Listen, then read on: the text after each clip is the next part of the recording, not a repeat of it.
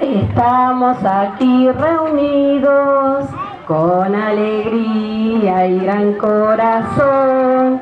Los queremos celebrar junto a los papás.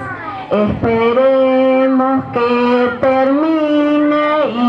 sorpresa nos darán. improvisado me pareció ¡Wow! ¡No!